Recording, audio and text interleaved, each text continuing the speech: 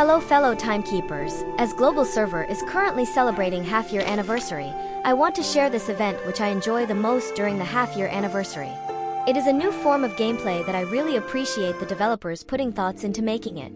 Echoes of the Mountain follows the journey of Semawise deep into the mountains and forests to search for something which I will not spoil it for you all. First, we get to send a team of eight. The left column is our main team while the right column is mainly as backup team. We can swap any of them each stage. We start with all characters at first insight, level 40 with resonance level 4 and base Psycube that we are using at level 20. As we progress through the stages, we get loots that we can use to individualize our playstyle depending on who you are playing as primary carry DPS unit.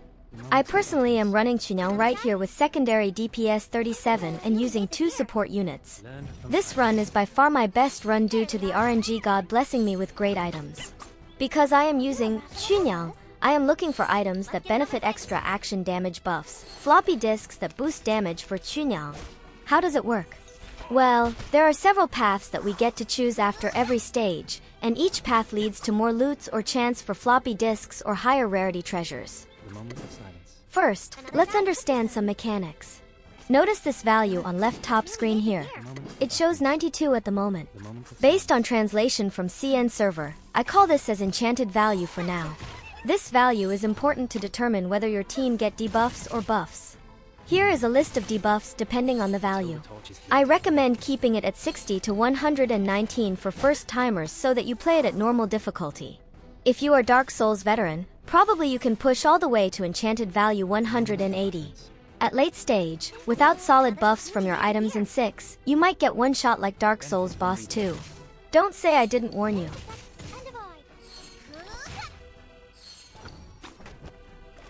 Successful clear of the stage, we get two types of currency as rewards.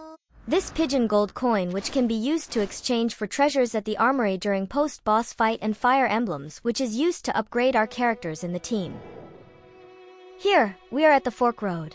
Picking different fork road will add or reduce your enchanted value and each road gives different rewards. Here is the list of roads that will appear along your journey.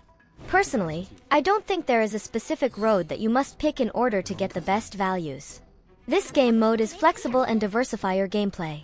As long as you keep in mind to keep your enchanted value between 60 to 119, I think is good enough. If you need a break to recover your health especially if you are running a team with no healer, you can pick resting area. Otherwise, I tend to pick roads that give certain treasures. Of course, you can also pick roads that do not lead to battle such as scenarios like Treasure Land or scenario based like the maze. You may or may not trigger some traps or land on some good treasures. Yes, everything is RNG based here. Gacha gaming is the way of life. Haha,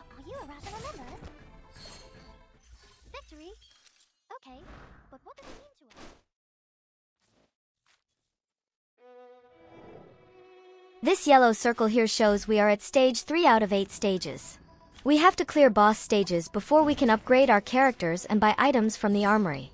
So all the currency collected, we cannot use until then. The first floor Echoes of the Mountain is always the toughest because we are running Insight 1 characters with low damage output. This is also why high DPS carry characters like Chunyang, Korandian also known as Spathodea in Global is recommended to speed up the run. Because the first floor always give the most frustration due to how low damage output, but the best part is towards late game when we max out our carries with rare treasures, the damage output skyrocketed and makes this game mode so addictive. I must tell you guys in advance that this mini game is quite grindy. But the rewards you get are quite good and to be honest, I do not find it boring and repetitive. Because each run is different so I personally find it quite enjoyable. As the event lasts quite a while, you can play a few runs daily. Here are the lists of rewards for this mini game. Quite generous by Bluepoch team.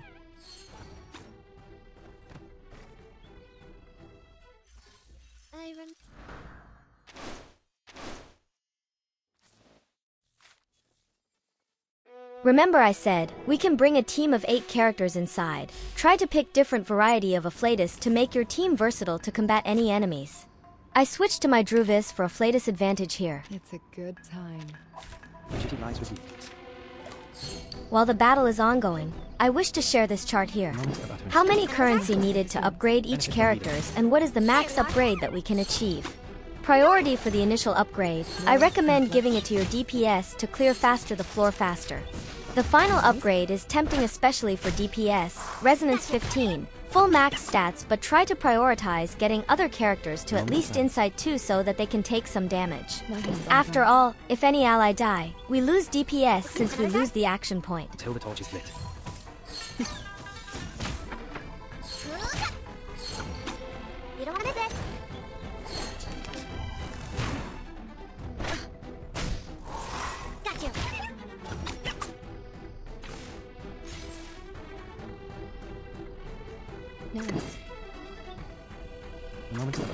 Of utterance. My heart with the strings. It's newly made this year. Breathe. We walk in long nights. Dive and fry. Enjoy. No worries. What's wrong? There they are. My hands on the drops.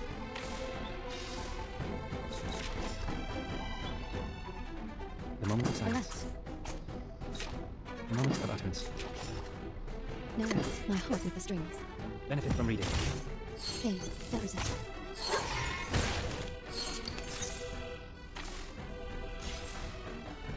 The moment of silence. Time for tongues to speak Under the truth. moon. We walk in long nights.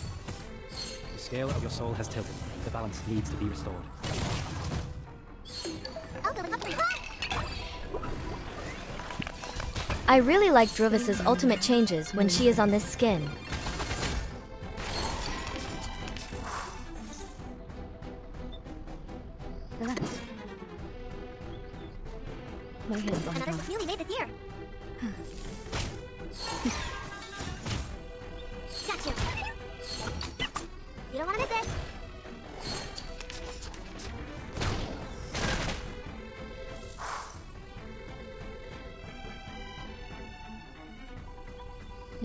No rest. Anything keeps Another coming. jar? My heart with the strings.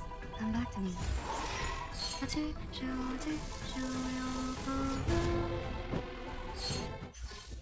I remember it's called.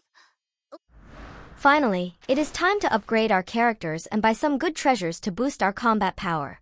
So here, we got a silver sword, lucky rabbit foot and weakening floppy. Okay, which character should I upgrade first? I recommend Prioritas primary carry and one support or sub DPS. Chunyang is now Insight 2, Resonance 6.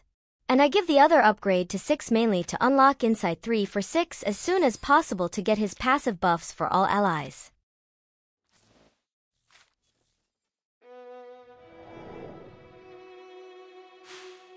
I pick Treasure Road to get more treasure and loots to prepare for boss stage later. Let's skip forward, shall we?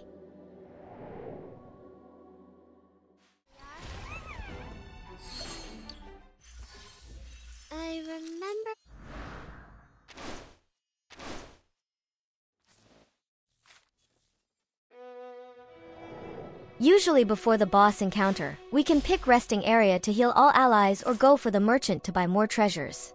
I recommend prioritizing three types of floppy disks as a must-buy. The lucky spell for critical rate and damage buff, the buff spell for granting all sorts of buffs which is quite broken and extra action spell mainly for Chunyao mains and weaken spell which places random debuffs on enemies.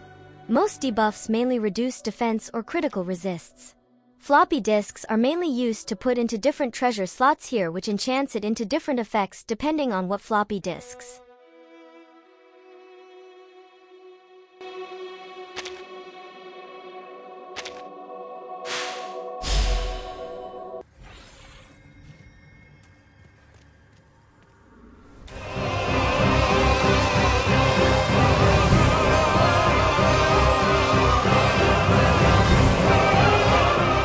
Look at No. Such menacing look. Thankfully, Chunyang has Afflatus counter against her. The moment of silence. Another newly made this year. We walk in long nights. You don't want to miss it.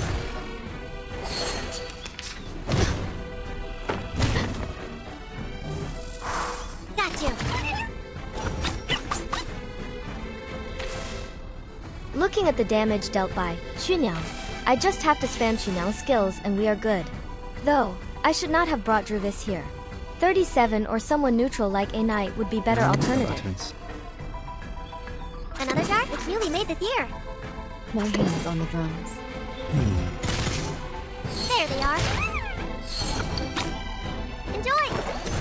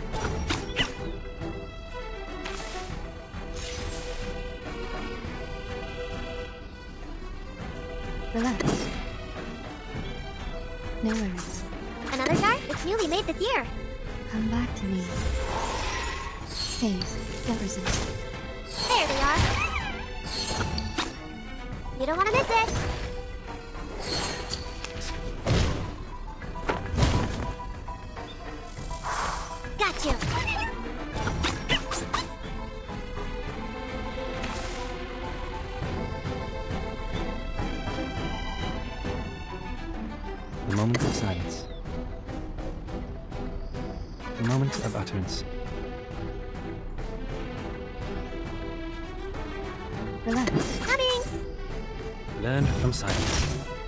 Until the torch is lit. Come back to me. I'll fill the cup for you.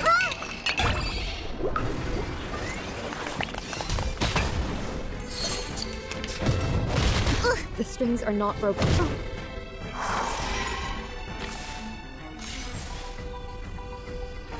No worries. Another jar? It's newly made this year. Relax. The moment of Another? silence. It's newly made this year. Come back to me. We walk in long nights. There they are.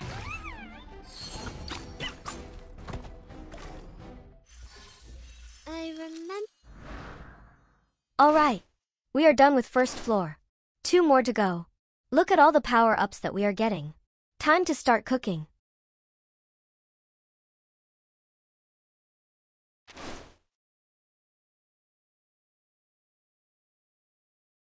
We have 36 fire emblems now. As always, use all into Chunyang and make her into a DPS beast.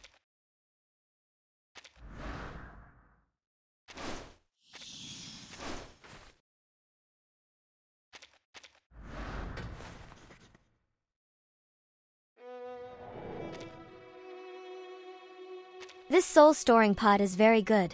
If we can slot in luck spell into this, gonna be even better. Let's swap in luck floppy into this then.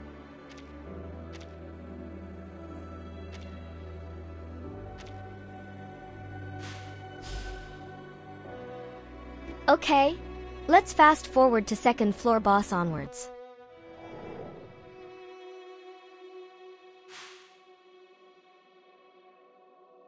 Time to do some shopping before we face the boss. Hopefully we get some good treasures. This honey pod is also very good regardless of what spell we slot in. This animal tooth is also a very good item because we can get 30% critical damage buff in his base form and slotting in any spell will evolve it even better. We are running out of gold coins. I guess we can buy the goggles here which can debuff enemies. I do not need healing, so those heal all allies not useful for me. Second floor big boss. Let's go. Now we have Chunyang with Insight 3 and others at Insight 2. Who ate beans? I think we are good here since we have decent amount of buffs and upgrades. The moment of utterance. It's newly made this year. Another jar? The moment of silence. The moment of utterance. The moment. Of the moment of It's newly made this year. Another jar? We walk in long nights. Benefit from reading. Got you. You don't want to miss it.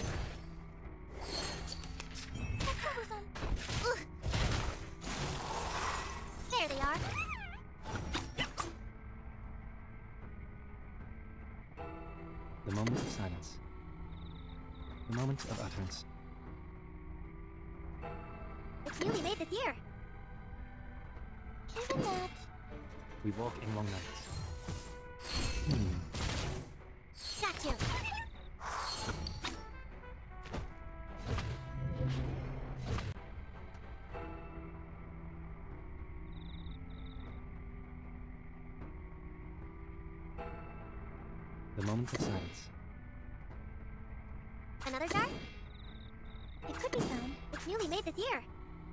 reading. That was easier than I thought. Alright. Time to get more coins and upgrades. Hopefully we get good floppy disks.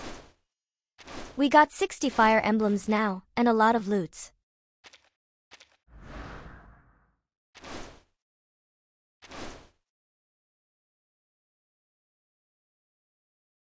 And of course, all of them will go into Chunyang to fully awaken her.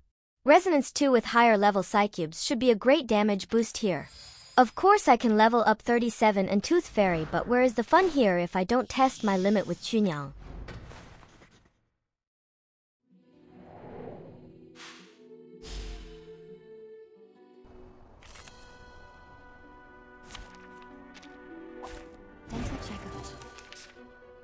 Floor 3, final floor.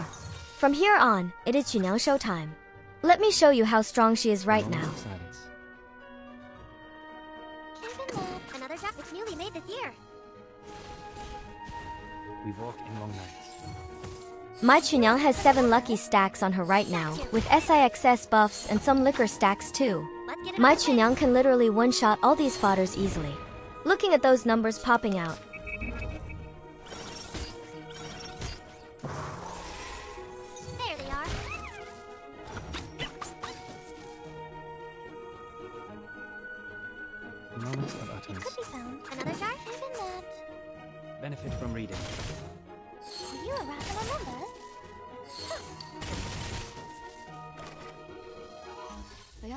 naughtier than the Foundation's kids.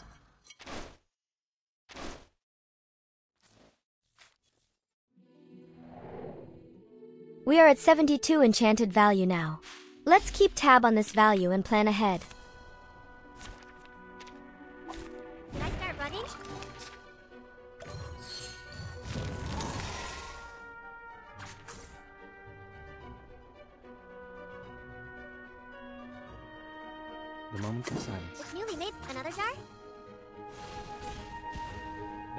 Try one-shot this mob.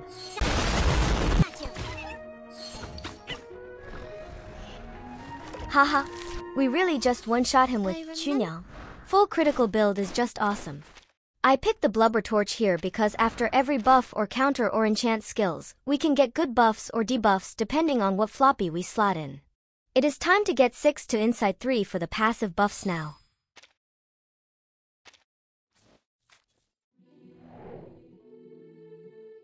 Alright. Time to speed run until boss encounter. Like I said, it is good to bring a variety of Afflatus characters to make the run even faster. Thankfully, I have a knight with me. Of course, in future runs, we are eating good with Isolde as the Broken Spirit character.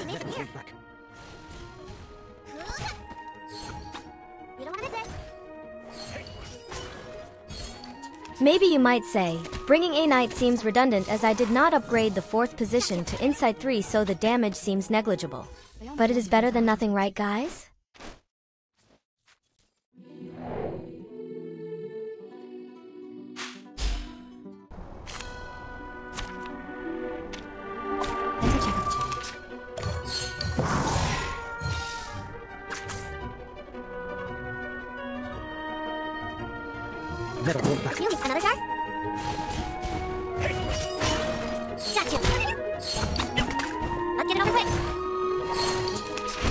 Someone still has the guts to Control.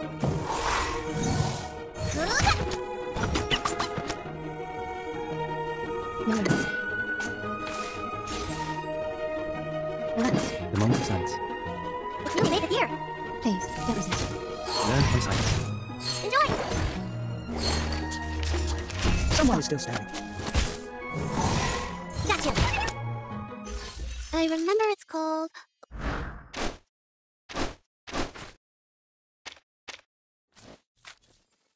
Now, we have a couple of good items. Even if we do not slot in floppy on some of them, they still give some good buffs. We have to prioritize what items give better effects than another depending on what your playstyle is.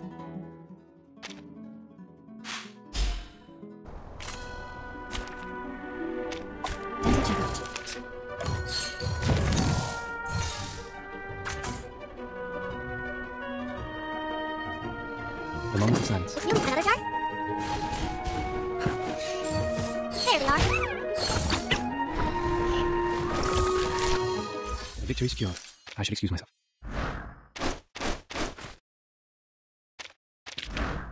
Alright.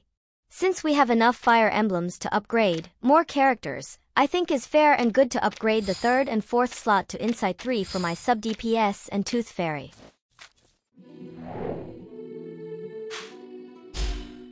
I picked the slingshot here because the damage buffs is quite insane. It is almost broken. If I slot in Lucky's spell into it, Chunyang can get up 10 luck stacks and pump up my critical damage up to 45%. Another newly made this year.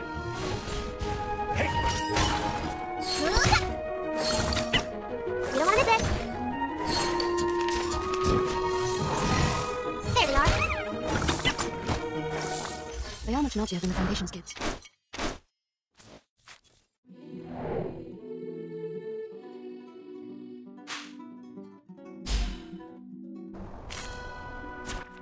By the way, I forgot to mention this earlier but, if you are a whale with full portrait, Chunyang, I don't think it matters in this game mode. Notice how my enchanted value is at 46 now. I have to make sure to bring it back to within 60 to 119 because I need the action slot for more DPS. Got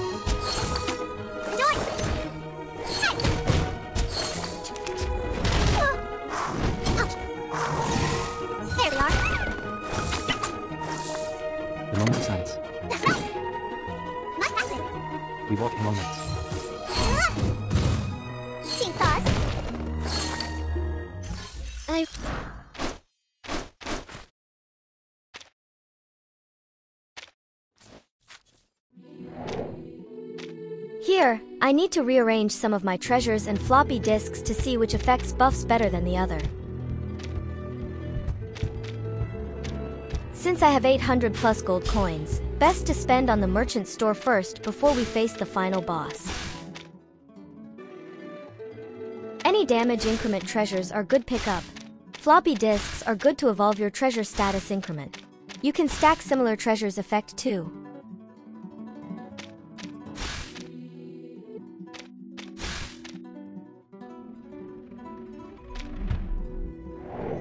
Time to sort out the items now. Double animal teeth are really good pickup here, thanks to Lucky RNG. My tip here would be, knowing what playstyle that suits you, then pick those treasures and aim for some specific floppy disk spells. The extra items can just slot any floppy disks if you want. For those players who mix max everything, you can plan specific setup for each items though. Honestly, Chunyang can carry with luck spell effect. Finally, a worthy opponent. Our battle will be legendary. I am going to showcase how enchanted value below 60 with easy clear.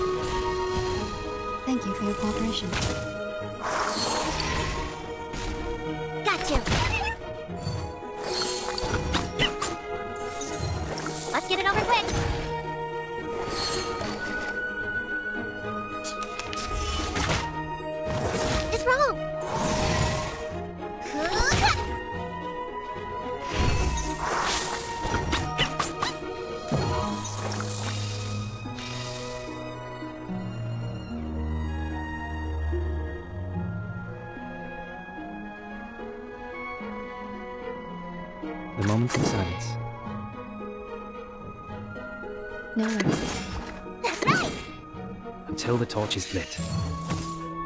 Please, don't resist.